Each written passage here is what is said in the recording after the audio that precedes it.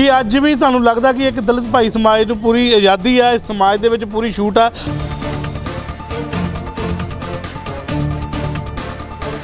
ਉਹਨੂੰ ਲਗਾਤਾਰ ਇਹ ਕਹਿ ਕੇ ਪ੍ਰਤਾੜਿਤ ਕਰ ਰਿਹਾ ਸੀ ਕਿ 96% ਦਲਿਤ ਲੜਕੀ ਦੇ ਨੰਬਰ ਕਦੀ ਆ ਹੀ ਨਹੀਂ ਸਕਦੇ। ਤਾਂ ਮਹੀਨੇ ਤੋਂ ਲਗਾਤਾਰ ਉਸ ਨਾਲ ਇਹ ਤਸ਼ੱਦਦ ਮਾਨਸਿਕ ਜਿਹਨੂੰ ਕਹਿੰਦੇ ਆ ਛੂਆ ਛਾਤ ਹੋ ਰਹੀ ਸੀ। ਅੱਕ ਕੇ ਉਸਨੇ ਕੀ ਕੀਤਾ? ਸੁਸਾਈਡ ਕਰ ਲਈ ਔਰ ਲਗਭਗ 10 ਬੰਦਿਆਂ ਦੇ ਖਿਲਾਫ ਉਹਨੇ ਰਿਟਨ ਚ 22 ਨੇਮ ਜਿਹੜਾ ਵਾ, ਉਹ ਆਪਣਾ ਨੋਟ ਬਣਾ ਕੇ ਉੱਥੇ ਸੁਸਾਈਡ ਕੀਤੀ। ਜਿਹੜੇ ਦੋਸ਼ੀ ਨੇ, ਨਾ ਉਹਨਾਂ ਨੂੰ ਫੜਿਆ ਜਾ ਰਿਹਾ, ਨਾ ਉਹਨਾਂ ਤੇ ਕਿਤੇ ਰੇਟ ਹੋ ਰਹੀ ਆ। ਸਾਨੂੰ ਐਦਾਂ ਲੱਗਦਾ ਕਿ ਬਹੁਤ ਵੱਡੀ ਸਾਜ਼ਿਸ਼ ਆ ਪ੍ਰੈਸ਼ਰ ਆ।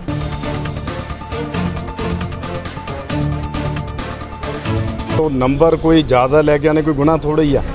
ਸਮਾਂ ਉਹਨੂੰ ਉਹਨੂੰ ਸਨਮਾਨਿਤ ਕਰਨਾ ਬੰਦਾ ਸੀ ਪੰਜਾਬ ਸਰਕਾਰ ਵੱਲੋਂ। ਉਲਟ ਉਹਦਾ ਕਤਲ ਹੋ ਜਾਂਦਾ ਵਾ। ਜਿਹਨੂੰ ਆਪਾਂ ਸਿੱਖਿਆ ਦਾ ਮੰਦਰ ਕਹਿੰਦੇ ਆ। ਜੀ। ਜੇ ਉਹਦੇ ਵਿੱਚ ਛੂਆ ਛਾਤ ਹੋ ਰਹੀ ਆ ਤਾਂ ਹੋਰ ਥਾਂ ਤੇ ਕੀ ਰਹਿ ਗਿਆ? ਪ੍ਰਾਈਮ ਨੂੰ ਦੇਖ ਰਹੇ ਸਾਰੇ ਦਰਸ਼ਕਾਂ ਦਾ ਸਵਾਗਤ ਹੈ ਸੋ ਦੋਸਤੋ, ਜਿੱਥੇ ਇੱਕ ਪਾਸੇ ਤਾਂ ਦੇਸ਼ ਦੇ ਵਿੱਚ ਸਾਡੇ ਰਾਸ਼ਟਰਪਤੀ ਦ੍ਰੋਪਦੀ ਮੁਰਮੂ ਜੀ ਇੱਕ ਆਦੀਵਾਸੀ ਸਮਾਜ ਤੋਂ ਆਂਦੇ ਆ, ਜਿੱਥੇ ਉਹਨਾਂ ਨੂੰ ਐਡਾ ਵੱਡਾ ਕੱਦ ਭਾਰ ਸੰਭਾਲਿਆ, ਉੱਥੇ ਜੇ ਗੱਲ ਕਰੀਏ ਤਾਂ ਪੰਜਾਬ ਦੀ ਤੇ ਪੰਜਾਬ ਦੇ ਵਿੱਚ ਕਿਤੇ ਨਾ ਕਿਤੇ ਦਲਿਤ ਭਾਈਚਾਰੇ ਨਾਲ ਵਿਤਕਰਾ ਆਮ ਚ ਦੇਖਣ ਨੂੰ ਮਿਲਦਾ। ਇੱਧਰ ਹੀ ਵਿਤਕਰਾ ਮਿਲਿਆ ਹੈ ਇੱਕ ਜਦੋਂ ਸਾਡੀ ਧੀ ਭੈਣ ਦਲਿਤ ਸਮਾਜ ਦੀ ਨੇ ਆਤਮ ਹੱਤਿਆ ਕਰ ਲੈਂਦੀ, ਉਹਦੀ ਲੈ ਆਤਮ ਹੱਤਿਆ ਤੋਂ ਬਾਅਦ ਇੱਥੇ ਲੋਕ ਪਹੁੰਚੇ ਨੇ, ਦਲਿਤ ਸਮਾਜ ਭਾਈਚਾਰੇ ਦੇ ਸਾਰੇ ਲੋਕ ਪਹੁੰਚੇ ਨੇ। ਕਿ ਅੱਜ ਵੀ ਤੁਹਾਨੂੰ ਲੱਗਦਾ ਕਿ ਇੱਕ ਦਲਿਤ ਭਾਈ ਸਮਾਜ ਨੂੰ ਪੂਰੀ ਆਜ਼ਾਦੀ ਆ, ਇਸ ਸਮਾਜ ਦੇ ਵਿੱਚ ਪੂਰੀ ਛੂਟ ਆ?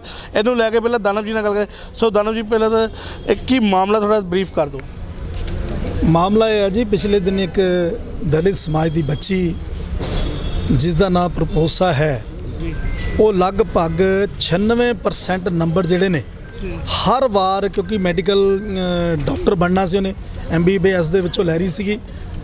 ਲਗਾਤਾਰ ਉਹਦੇ ਨਾਲ ਦੇ ਜਿਹੜੇ ਉਹਦੇ ਮਤਲਬ ਸਟੂਡੈਂਟਸ ਫਰੈਂਡਸ ਸੀਗੇ ਪਲੱਸ ਉੱਥੇ ਦੇ ਮੈਨੇਜਮੈਂਟ ਪਲੱਸ ਉੱਥੇ ਦੇ ਜਿਹੜਾ ਟੀਚਰ ਸੀ ਪਲੱਸ ਉੱਥੇ ਦਾ ਜਿਹੜਾ ਪ੍ਰੋਫੈਸਰ ਸੀ ਉਹਨੂੰ ਲਗਾਤਾਰ ਇਹ ਕਹਿ ਕੇ ਪ੍ਰਤਾੜਿਤ ਕਰ ਰਿਹਾ ਸੀ ਕਿ 96% ਦਲਿਤ ਲੜਕੀ ਦੇ ਨੰਬਰ ਕਦੀ ਆ ਹੀ ਨਹੀਂ ਸਕਦੇ। ਕਿਉਂਕਿ ਉਹ ਦਲਿਤ ਆ। ਉਸ ਨੂੰ ਲੈ ਕੇ ਉਹਨੇ ਕਈ ਵਾਰ ਰਿਟਨ ਦੇ ਅੰਦਰ ਵੀ ਲਿਖ ਕੇ ਦਿੱਤਾ। ਪਰ ਉੱਥੇ ਦੀ ਮੈਨੇਜਮੈਂਟ ਜਿਹੜੀ ਆ ਗੁੰਗੀ ਬਹਿਰੀ ਮੈਨੇਜਮੈਂਟ ਸੀ ਉਹਨੇ ਉੱਤੇ ਕੋਈ ਕਾਰਵਾਈ ਨਹੀਂ ਕੀਤੀ ਉਹਦੀ ਸੈਟੀਸਫਾਈਡ ਨਹੀਂ ਕਰਾਇਆ। ਉਹ ਜਿਹੜੇ ਪ੍ਰਤਾੜਿਤ ਕਰ ਰਹੇ ਸੀ, ਲਗਾਤਾਰ ਉਹਨਾਂ ਨੂੰ ਪਨਿਸ਼ਮੈਂਟ ਨਹੀਂ ਦਿੱਤੀ ਜਾਂ ਉਹਨਾਂ ਨੂੰ ਬੁਲਾਇਆ ਕੇ ਉਹਦੀ ਤਸੱਲੀ ਵੀ ਨਹੀਂ ਕਰਾਈ। ਉਸ ਤੋਂ ਬਾਅਦ ਉਸ ਲੜਕੀ ਨੇ ਜਦੋਂ ਹੱਦ ਨਾਲ ਵੱਧ ਗਈ ਕਿ 7 ਮਹੀਨੇ ਤੋਂ ਲਗਾਤਾਰ ਉਸ ਨਾਲ ਇਹ ਤਸ਼ੱਦਦ ਮਾਨਸਿਕ ਜਿਹਨੂੰ ਕਹਿੰਦੇ ਆ, ਛੂਆ ਛਾਤ ਹੋ ਰਹੀ ਸੀ। ਅੱਕ ਕੇ ਉਸਨੇ ਕੀ ਕੀਤਾ? ਸੁਸਾਈਡ ਕਰ ਲਈ ਔਰ ਲਗਭਗ 10 ਬੰਦਿਆਂ ਦੇ ਖਿਲਾਫ ਉਹਨੇ ਰਿਟਨ ਚ 22 ਨੇਮ ਜਿਹੜਾ ਵਾ, ਉਹ ਆਪਣਾ ਨੋਟ ਬਣਾ ਕੇ ਉੱਥੇ ਸੁਸਾਈਡ ਕੀਤੀ। ਉਹ ਤੇ ਐਫ ਆਈ ਆਰ ਵੀ ਹੋਈ ਅੰਮ੍ਰਿਤਸਰ। ਇੱਕ ਨੂੰ ਗ੍ਰਿਫਤਾਰ ਵੀ ਕਰ ਲਿਆ। ਪਰ ਲਗਾਤਾਰ 9 ਦੇ ਕਰੀਬ ਜਿਹੜੇ ਦੋਸ਼ੀ ਨੇ, ਨਾ ਉਹਨਾਂ ਨੂੰ ਫੜਿਆ ਜਾ ਰਿਹਾ, ਨਾ ਉਹਨਾਂ ਤੇ ਕਿਤੇ ਰੇਟ ਹੋ ਰਹੀ ਆ।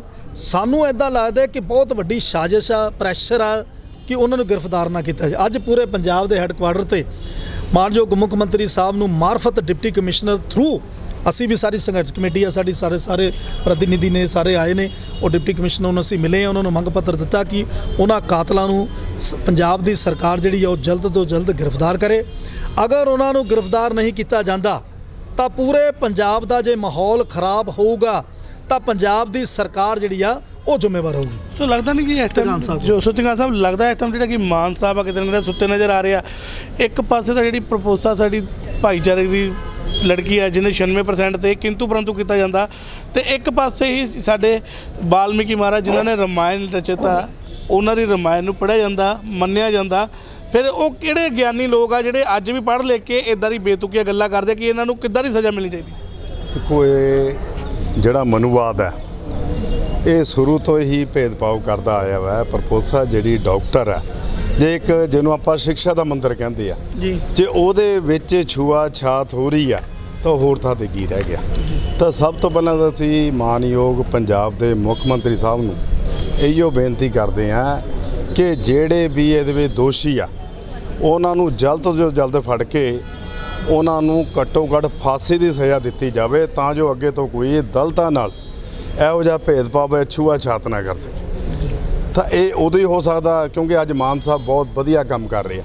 ਪਰ ਸਾਨੂੰ ਵੀ ਉਦੋਂ ਹੀ ਮਾਣ ਮਹਿਸੂਸ ਹੋਏਗਾ ਜਦੋਂ ਜਿਨ੍ਹਾਂ ਨੇ ਇਹ ਬਹੁਤ ਵੱਡਾ ਜੁਰਮ ਕਰਿਆ ਵਾ ਇੱਕ ਲੜਕੀ ਜਿਹੜੀ ਡਾਕਟਰ ਸੀ ਔਰ ਉਹਦੇ ਨਾਲ ਛੂਆਛਾਤ ਉਹ ਨੰਬਰ ਕੋਈ ਜ਼ਿਆਦਾ ਲੈ ਕੇ ਆਨੇ ਕੋਈ ਗੁਨਾਹ ਥੋੜਾ ਹੀ ਆ।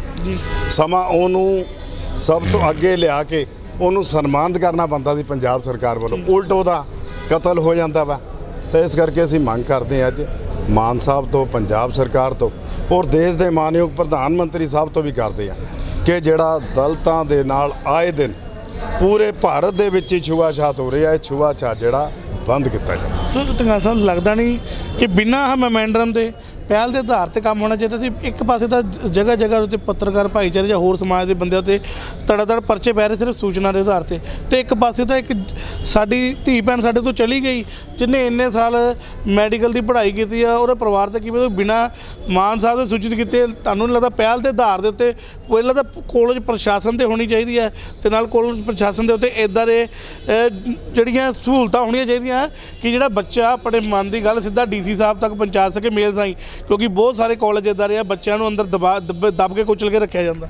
ਦੇਖੋ, ਜਿਹੜੇ ਮੁੱਖ ਮੰਤਰੀ ਸਾਹਿਬ ਆ ਉਹ ਹਰ ਕਿਸੇ ਨੂੰ ਚਾਹੁੰਦੇ ਇਨਸਾਫ। ਮਿਲੇ ਪਰ ਜਿਹੜੀ ਆਫੀਸਰ ਲੋਬੀ ਆ ਜੀ। ਜਾਂ ਮੈਨੇਜਮੈਂਟ ਆ। ਉਹ ਜਿਹੜਾ ਥੱਲੇ ਵਾਲੇ ਨੂੰ ਉੱਤੇ ਪਹੁੰਚਣ ਹੀ ਨਹੀਂ ਦਿੰਦੀ ਜੇ ਅੱਗੇ ਕੋਈ ਪਹੁੰਚੇਗਾ ਤਾਂ ਇਨਸਾਫ ਮਿਲੇਗਾ। ਤਾਂ ਇਸ ਕਰਕੇ ਅਸੀਂ ਮੁੱਖ ਮੰਤਰੀ ਸਾਹਿਬ ਤੋਂ ਡੀਸੀ ਸਾਹਿਬ ਦੇ ਰਾਹੀਂ ਇਹ ਮੰਗ ਕਰਦੇ ਆ ਕਿ ਜਿਹੜੇ ਵੀ ਇਸ ਕੇਸ ਦੇ ਵਿੱਚ ਦੋਸ਼ੀ ਆ ਉਹਨਾਂ ਨੂੰ ਜਲਦ ਤੋਂ ਜਲਦ ਫੜ ਕੇ ਉਹਨਾਂ ਨੂੰ ਸਲਾਖਾਂ ਦੇ ਪਿੱਛੇ ਕਰਿਆ ਜਾਵੇ ਔਰ ਫਾਸਟ ਟਰੈਕ ਤੇ ਕੇਸ ਚਲਾ ਕੇ ਉਹਨਾਂ ਨੂੰ ਬੰਦੀ ਸਜ਼ਾ ਦਿੱਤੀ ਮੈਂ ਇੱਕ ਗੱਲ ਹੋਰ ਕਹਿਣਾ ਚਾਹਨਾ ਵਾਂ ਇਹਨਾਂ ਨੇ ਉਸ ਬੱਚੀ ਨੂੰ ਲਗਾਤਾਰ ਇਹ ਗੱਲ ਕਿਹਾ ਕਿ 96% ਜਿਹੜੀ ਦਲਿਤ ਬੱਚੀ ਆ ਇਹਦੇ ਆ ਨਹੀਂ ਸਕਦੇ। ਪਰ ਅੱਜ ਮੈਂ ਇੱਕ ਗੱਲ ਬੜੇ ਮਾਣ ਨਾਲ ਤੁਹਾਡੇ ਮਾਧਿਅਮ ਤੋਂ ਦੱਸਣ ਜਾ ਰਿਹਾ ਕਿ ਇੱਕ ਇੰਦੌਰ ਦੀ ਬੇਟੀ ਰੋਣੀ ਕਾਬਰੀ ਉਹ ਅੱਜ ਇਸ ਦੇਸ਼ ਦਾ ਪ੍ਰਤੀਨਿਧਿਤਵ ਕਰਨ ਵਾਸਤੇ ਯੂਐਨਓ ਚ ਜਾ ਰਹੀ ਹੈ। ਜੀ।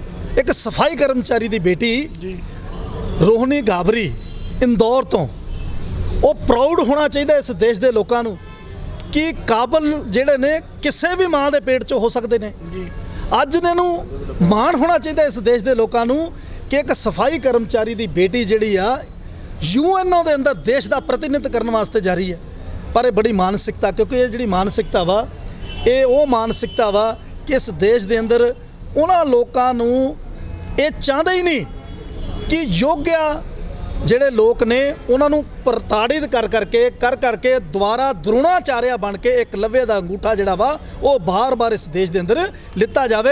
ਮੈਂ ਤੁਹਾਡੇ ਮਾਧਿਅਮ ਤੋਂ ਸਾਰੇ ਮੇਰੇ ਸਤਿਕਾਰਯੋਗ ਆਗੂ ਸਹਿਬਾਨ ਵੀ ਆ ਔਰ ਵਿਸ਼ੇਸ਼ ਤੌਰ ਤੇ ਸਾਡੇ ਬੱਚੇ ਜਿਹੜੇ ਸਟੂਡੈਂਟ ਆ, ਉਹ ਵੀ ਇੱਥੇ ਆਏ ਨੇ। ਮੈਂ ਇੱਕ ਗੱਲ ਜਿਹੜੀ ਸਵੇਰ ਦੀ ਘਰੋਂ ਚੱਲਣ ਤੋਂ ਪਹਿਲਾਂ ਸੋਚ ਕੇ ਆਇਆ ਸੀ, ਉਹ ਤੁਹਾਨੂੰ ਜ਼ਰੂਰ ਸ਼ੇਅਰ ਕਰਨਾ ਚਾਹਨਾ। ਕਿ ਮੈਂ ਆਪਣੇ ਬੱਚਿਆਂ ਨੂੰ ਇਹ ਗੱਲ ਕਹਿਣਾ ਚਾਹਨਾ ਕਿ ਸੁਆ ਸੁਸਾਈਡ ਕਰਨ ਵਾਲਾ ਜਿਹੜਾ ਕੰਮ ਵਾ, ਇਹ ਬੰਦ ਹੋਣਾ ਚਾਹੀਦਾ ਵਾ। ਉਸ ਮਾਂ ਨੂੰ, ਉਸ ਪਿਓ ਨੂੰ ਪੁੱਛ ਕੇ ਦੇਖੋ, ਜਿਨੇ ਕਿੰਨੀ ਮਿਹਨਤ ਕੀ ਕਰਕੇ ਤੈਨੂੰ ਐਮਬੀਬੀਐਸ ਦੇ ਯੋਗ ਬਣਾਇਆ ਸੀ। ਇੱਕ ਨਲਾਇਕ ਲੋਕ ਨੇ, ਇਹ ਤਾਂ ਜਾਣ ਬੁੱਝ ਕੇ ਤੁਹਾਨੂੰ ਐਦਾਂ ਕਰਦੇ ਨੇ। ਤਾਂ ਤੁਸੀਂ ਇਹ ਗਲਤੀਆਂ ਨਹੀਂ ਕਰਨੀਆਂ, ਬਾਰ-ਬਾਰ ਦਰੋਣਾਚਾਰਿਆ ਦੇ ਮਗਰ ਨਹੀਂ ਲੱਗਣਾ, ਬਾਰ-ਬਾਰ ਆਪਣਾ ਅੰਗੂਠਾ ਨਹੀਂ ਕਟਵਾਉਣਾ। ਮੈਂ ਆਪਣੇ ਇਸ ਦੇਸ਼ ਦੇ ਦਲਿਤ ਬੱਚਿਆਂ ਨੂੰ ਕਹਿਣਾ ਚਾਹਨਾ ਵਾਂ ਕਿ ਤੁਸੀਂ ਯੋਗਤਾ ਅਨੁਸਾਰ ਪੜ੍ਹ ਲਿਖ ਕੇ ਕਾਬਲ ਬਣ ਕੇ ਤੁਸੀਂ ਆਈਐਸ ਬਣ ਰਹੇ ਹੋ ਆਈਪੀਐਸ ਬਣ ਰਹੇ ਹੋ, ਡਾਕਟਰ ਬਣ ਰਹੇ ਹੋ, ਵਕੀਲ ਬਣ ਰਹੇ ਹੋ, ਜੱਜ ਬਣ ਰਹੇ ਹੋ, ਪਰ ਇਦਾਂ ਦੇ ਨਲਾਇਕ, ਅਯੋਗਿਆ ਲੋਕ ਜਿਹੜੇ ਨੇ, ਉਹ ਤੁਹਾਨੂੰ ਜਾਣ ਬੁੱਝ ਕੇ ਪ੍ਰਤਾੜਿਤ ਕਰਦੇ ਆ, ਤੁਹਾਨੂੰ ਉਤਸ਼ਾਹਿਤ ਕਰਦੇ ਆ ਕਿ ਤੁਸੀਂ ਸੁਸਾਈਡ ਕਰੋ। ਮੈਂ ਆਪਣੇ ਬੱਚਿਆਂ ਨੂੰ ਜ਼ਰੂਰ ਕਹਿਣਾ ਚਾਹਨਾ ਪੂਰੀ ਸੰਘਰਸ਼ ਕਮੇਟੀ ਵੱਲੋਂ ਪੂਰੇ ਦੇਸ਼ ਦੇ ਬੱਚਿਆਂ ਨੂੰ ਕਿ ਇਹਨਾਂ ਦਰੋਣਾਚਾਰਿਆਂ ਦੇ ਮਗਰ ਲੱਗਣਾ ਬੰਦ ਕਰ ਦਿਓ। ਇਹਨਾਂ ਦੇ ਮਗਰ ਲੱਗ ਕੇ ਆਪਣੇ ਅੰਗੂਠੇ ਨਹੀਂ ਕਟਵਾਣੇ ਸੁਸਾਈਡ ਨਹੀਂ ਕਰਨਾ ਬਲਕਿ ਕਾਬਲ ਬਣ ਕੇ ਇਸ ਦੇਸ਼ ਦੀ ਸੇਵਾ ਕਰਨੀ ਹੈ। ਸੋ ਕੀ ਕਹਿਣਾ ਚਾਹੁੰਦੇ ਸਰ? ਥੋੜਾ ਜਿਹਾ ਇਸ ਮਾਮਲੇ ਤੇ ਥੋੜਾ ਦੱਸੋ। ਅੱਜ ਤੁਸੀਂ ਦੇਖ ਰਹੇ ਹੋ ਕਿ ਅੱਜ ਦੇਸ਼ ਦਾ ਪ੍ਰਧਾਨ ਮੰਤਰੀ ਨਾਰੀ ਸ਼ਕਤੀ ਨੂੰ ਲੈ ਕੇ ਕਿੰਨਾ ਅੱਗੇ ਜਾ ਰਿਹਾ ਔਰ ਹਰ ਖੇਤਰ ਦੇ ਵਿੱਚ ਨਾਰੀ ਨੂੰ ਪ੍ਰਤੀਨਿਧਤਾ ਦੇ ਕੇ ਆਗੂ ਬਣਾ ਰਿਹਾ ਔਰ ਦੂਸਰੇ ਪਾਸੇ ਅੱਜ ਪੰਜਾਬ ਦੇ ਵਿੱਚ ਲਗਭਗ 1 ਸਾਲ ਹੋਣ ਲੱਗਿਆ ਆਮ ਸ- ਆਪਦੀ ਦੀ ਸਰਕਾਰ ਬਣੇ ਨੂੰ ਔਰ ਆਮ ਲੋਕਾਂ ਦਾ ਕੀ ਹਾਲ ਹੈ, ਤੁਸੀਂ ਦੇਖ ਸਕਦੇ ਹੋ। ਇਸ ਦੇ ਵਿੱਚ ਤੁਸੀਂ ਦੇਖਦੇ ਹੋ ਕਿ ਜਿਹੜੇ ਸਟੂਡੈਂਟ ਆ, ਉਹਨਾਂ ਨੂੰ ਆਰਕਸ਼ਨ ਦੇਣ ਦੀ ਬਜਾਏ, ਉਹਨਾਂ ਨੂੰ ਵਜ਼ੀਫੇ ਦੇਣ ਦੀ ਬਜਾਏ, ਬਲਕਿ ਉਹ ਇਸ ਗੱਲ ਤੇ ਮਜਬੂਰ ਕਰ ਰਹੇ ਨੇ ਕਿ ਉਹ ਸੁਸਾਈਡ ਕਰਨ। ਇੱਕ ਲੜਕੀ ਦੇ ਨਾਲ ਅੰਮ੍ਰਿਤਸਰ ਚ ਹੋਇਆ। ਹੋਰ ਕਈ ਜਗ੍ਹਾ ਦੇ ਉੱਤੇ ਵੀ ਤੁਸੀਂ ਦੇਖਦੇ ਹੋ, ਕਿਉਂਕਿ ਪੱਤਰਕਾਰ ਭਰਾਵਾਂ ਨੂੰ ਪਤਾ ਕਿ ਕੋਈ ਸ਼ਹਿਰ ਇਹੋ ਜਿਹਾ ਨਹੀਂ ਜਿੱਥੇ ਹਰ ਰੋਜ਼ ਬੱਚੇ ਨਹੀਂ ਮਰ ਰਹੇ, ਹਰ ਰੋਜ਼ ਜਿਹੜੀਆਂ ਘਟਨਾਵਾਂ ਨਹੀਂ ਹੋ ਰਹੀਆਂ, ਤੋਂ ਮੈਂ ਇਸ ਮੌਕੇ ਦੇ ਉੱਤੇ ਆਮ ਲੋਕਾਂ ਦੀ ਪਾਰਟੀ ਨੂੰ ਦੱਸਣਾ ਚਾਹਨਾ ਕਿ ਜੇ ਤੁਸੀਂ ਚਾਹੁੰਦੇ ਆ ਕਿ ਆਮ ਲੋਕਾਂ ਦਾ ਰਾਜ ਹੋਵੇ, ਤਾਂ ਤੁਹਾਨੂੰ ਹਰ ਖੇਤਰ ਦੇ ਵਿੱਚ ਧਿਆਨ ਦੇਣਾ ਚਾਹੀਦਾ। ਔਰ ਇੰਨੇ ਦਿਨ ਬੀਤਣ ਤੋਂ ਬਾਅਦ ਹਜੇ ਤੱਕ ਕਾਤਲ ਨਹੀਂ ਪਕੜੇ ਗਏ, ਜਿਹਦਾ ਕਿ ਬਾਈ ਨੇਮ ਨਾਮ ਲਿਖ ਕੇ ਉਹ ਗਏ ਆ, ਮਗਰ ਹਜੇ ਤੱਕ ਇੱਕ ਹੀ ਪਕੜਿਆ ਗਿਆ, ਬਾਕੀ ਗ੍ਰਿਫਤ ਤੋਂ ਬਾਹਰ ਨੇ। ਤੋਂ ਅੱਜ ਅਸੀਂ ਡੀਸੀ ਸਾਹਿਬ ਦੇ ਮਾਧਿਅਮ ਤੋਂ ਮੁੱਖ ਮੰਤਰੀ ਨੂੰ ਔਰ ਕੇਂਦਰ ਸਰਕਾਰ ਨੂੰ ਇੱਕ ਮੈਮੋਰੰਡਮ ਦਿੱਤਾ ਹੈ ਕਿ ਜਲਦ ਤੋਂ ਜਲਦ ਜਿਹੜੇ ਉਹਨਾਂ ਕਾਤਲਾਂ ਨੂੰ ਪਕੜਿਆ ਜਾਵੇ। ਜੇਕਰ ਨਾ ਪਕੜਿਆ ਗਿਆ ਤਾਂ ਪੰਜਾਬ ਦਾ ਸਮੂਹ ਦਲਿਤ ਸਮਾਜ ਇਕੱਠਾ ਹੋ ਕੇ ਸੜਕਾਂ ਦਾ ਨਿਕਲੇਗਾ ਔਰ ਉਸ ਦੀ ਜ਼ਿੰਮੇਵਾਰੀ ਪੰਜਾਬ ਸਰਕਾਰ ਤੇ ਹੋਵੇਗੀ। ਸੋ ਅਸੀਂ ਵੀ ਆਪਣੇ ਮਾਧਿਅਮ ਨਾਲ ਇਹੀ ਕਹਿਣਾ ਚਾਹੁੰਦੇ ਹਾਂ ਕਿ ਜੇ ਇੰਨੀ ਹੀ ਘ੍ਰਿਣਾ ਆ ਦਲਿਤ ਸਮਾਜ ਨਾਲ ਜਾਂ ਬੱਚਿਆਂ ਨਾਲ ਜਾਂ ਪੜ੍ਹਾਈ ਦੇ ਵਿੱਚ ਜਿਹੜੇ ਬੱਚੇ ਇਦਾਂ ਦੀ ਘ੍ਰਿਣਾ ਕਰਦੇ ਆ ਤੇ ਫਿਰ ਉਹ ਰਮਾਇਣ ਵੀ ਪੜ੍ਹਨਾ ਛੱਡ ਦੇਣ ਤੇ ਜਾਂ ਫਿਰ ਆਕਸਫੋਰਡ ਦੇ ਵਿੱਚ ਜਿਹੜਾ ਬਾਬਾ ਭੀਮ ਰਾਮ ਅੰਬੇਦਕਰ ਜੀ ਦੀ ਮੂਰਤੀ ਲੱਗੀ ਆ, ਜੇ ਉਹਨਾਂ 'ਚ ਇੰਨਾ ਹੀ ਦਮ ਆ ਤਾਂ ਆਪਣੀ ਸਿੱਖਿਆ ਉੱਚ ਕਰਕੇ ਉੱਥੇ ਆਪਣੇ ਕਿਸੇ ਕਾਬਜ਼ ਅਫਸਰ ਦੀ ਮੂਰਤੀ ਲਾ ਕੇ ਦਿਖਾਣ। ਕਿਸੇ ਦੀ ਕਹਿੰਦੇ ਆ, ਨਕਲ ਕਰੋ, ਉਹਨੂੰ ਉਜਾੜੋ ਨਾ। ਅੱਜ ਇੱਕ ਘਰ ਦੀ ਧੀ ਗਈ ਆ ਤੇ ਉਹਦਾ ਪਰਿਵਾਰ ਨੂੰ ਪਤਾ ਹੋਊਗਾ ਕਿ ਉਹ ਕਿੱਥੇ ਤੱਕ ਉਹਨਾਂ ਨੇ ਪੜ੍ਹਾਈ ਕਰਾਣੀ ਹੋਣੀ, ਕਿੰਨੀਆਂ ਮਿਹਨਤਾਂ ਕੀਤੀਆਂ ਹੋਣੀਆਂ, ਕਿੰਨੇ ਲੋਕਾਂ ਦੇ ਨਾਲ ਕਿ ਉਹਨਾਂ ਨੇ ਕਰਜ਼ੇ ਵੀ ਚੱਕੇ ਹੋਣੇ ਆ, ਪਰ ਜਦੋਂ ਅੱਜ ਉਹ ਧੀ ਨਹੀਂ ਹੈਗੀ ਆ, ਤੇ ਅਸੀਂ ਉਹਨਾਂ ਨੂੰ ਲੋਕਾਂ ਨੂੰ ਵੀ ਲੱਖ ਦੀ ਲਾਂਤ ਦਿੰਦੇ ਆ, ਜਿਹੜੇ ਪੜ੍ਹੇ ਲਿਖਣ ਦੇ ਬਾਅਦ ਵੀ ਸ਼ੂਆ ਛੂਤ ਦੇ ਵਿੱਚ ਰਹਿੰਦੇ ਆ। ਸੋ ਚੌਧਰੀ ਸਾਹਿਬ ਤੁਹਾਡੇ ਲਾਸਟ ਵਿੱਚ ਕੀ ਕਹਿਣਾ ਚਾਹੁੰਦੇ ਹੋ? ਇਦਾਂ ਦੇ ਲੋਕਾਂ ਨੂੰ ਮੈਂ, ਮੇਰੇ ਵੱਲੋਂ ਤਾਂ ਅਸੀਂ ਕਹਿੰਦੇ ਆ, ਮੈਂ ਬੇਸ਼ੱਕ ਬੀਸੀ ਭਾਈਚਾਰੇ ਤੋਂ ਮੈਂ ਕਹਿੰਦਾ ਇਦਾਂ ਦੇ ਲੋਕਾਂ ਨੂੰ ਇਦਾਂ ਦੀ ਸਜ਼ਾ ਮਿਲਣੀ ਚਾਹੀਦੀ ਹੈ ਇਹਨਾਂ ਦੀਆਂ ਆਉਣ ਵਾਲੇ ਪੁਸ਼ਤਾਂ ਤੱਕ ਨੂੰ ਕੋਈ ਨੌਕਰੀ ਨਾ ਮਿਲੇ, ਨਾ ਇਦਾਂ ਦੀ ਪੜ੍ਹਾਈ ਹੋਣੀ ਚਾਹੀਦੀ ਵੀ ਇਹਨਾਂ ਨੂੰ ਇਦਾਂ ਦੀ ਨੌਕਰੀ ਮਿਲੇ, ਤਾਂ ਕਿ ਇਹਨਾਂ ਦੇ ਬੱਚਿਆਂ ਨੂੰ ਵੀ ਸਬਕ ਮਿਲੇ। ਮੈਂ ਤੁਹਾਡੇ ਮਾਧਿਅਮ ਤੋਂ ਅੱਜ ਪੰਜਾਬ ਸਰਕਾਰ ਨੂੰ, ਪੰਜਾਬ ਦੇ ਮੁੱਖ ਮੰਤਰੀ ਸਾਹਿਬ ਨੂੰ ਇਹ ਮੰਗ ਕਰਦਾ ਕਿ ਜਿਹੜੇ ਲੋਕਾਂ ਦੀ ਬਦੌਲਤ ਪਪੋਸਮਾ ਨੇ ਸੁਸਾਈਡ ਕੀਤੀ ਹੈ, ਚਾਹੇ ਉਹਦੇ ਡਾਕਟਰ, ਪ੍ਰੋਫੈਸਰ ਜਾਂ ਉੱਥੇ ਦੀ ਮੈਨੇਜਮੈਂਟ ਹੈ, ਜਿਨ੍ਹਾਂ ਨੂੰ ਬਾਰ-ਬਾਰ ਉਹਨੇ ਕਿਹਾ ਕਿ ਮੈਨੂੰ ਇਹ ਪੀੜਿਤ ਕਰ ਰਹੇ ਨੇ, ਜਾਤੀ ਸੂਚਕ ਕਹਿ ਕੇ ਕਿਸੇ ਵੀ ਤਰ੍ਹਾਂ ਮੈਨੂੰ ਪਰੇਸ਼ਾਨ ਕਰ ਰਹੇ ਤੇ ਇਹਨਾਂ ਦੇ ਕਾਰਵਾਈ ਕੀਤੀ ਜਾਵੇ ਤੇ ਉਹਨਾਂ ਨਲਾਇਕ ਜਿਹੜੇ ਲੋਕਾਂ ਨੇ ਕਾਰਵਾਈ ਨਹੀਂ ਕੀਤੀ, ਜਿਨ੍ਹਾਂ ਦੀ ਬਦੌਲਤ ਇਸ ਸਮਾਜ ਦੀ ਬੇਟੀ ਜਿਹੜੀ ਹੈ ਨੂੰ ਮਜਬੂਰ ਹੋਣਾ ਪਿਆ ਸੁਸਾਈਡ ਕਰਨ ਦੇ ਲਈ। ਔਰ ਪੰਜਾਬ ਸਰਕਾਰ ਪੰਜਾਬ ਪੁਲਿਸ ਸੁੱਤੀ ਪਈ ਹੈ। ਅੱਜ ਤੁਸੀਂ ਦੇਖਦੇ ਹੋ ਕਿ ਪੰਜਾਬ ਦਾ ਮਾਹੌਲ ਕੀ ਬਣਦਾ ਜਾ ਰਿਹਾ। ਅਗਰ ਐਸਾ ਹੀ ਮਾਹੌਲ ਰਿਹਾ ਤੇ ਮੈਂ ਸਮਝਦਾ ਕਿ ਪੰਜਾਬ ਦੇ ਜਿਹੜੇ ਪੁਰਾਣਾ ਮਾਹੌਲ ਸੀ ਅੱਤਵਾਦ ਦਾ ਸਮਾਂ ਮੁੜ ਕੇ ਆ ਜਾਊਗਾ। ਤੇ ਸਾਨੂੰ ਇਹਨਾਂ ਕਾਤਲਾਂ ਨੂੰ ਜਲਦ ਤੋਂ ਜਲਦ ਇਹਨਾਂ ਦੇ ਉੱਪਰ ਜਿਹੜੀ ਬੰਦੀ ਕਾਰਵਾਈ ਕਰਕੇ ਫਾਸਟ ਟਰੈਕ ਦੇ ਵਿੱਚ ਲਿਆ ਕੇ, ਇਹਨਾਂ ਨੂੰ ਸਖਤ ਤੋਂ ਸਖਤ ਕਾਰਵਾਈ ਕਰਨੀ ਚਾਹੀਦੀ ਹੈ।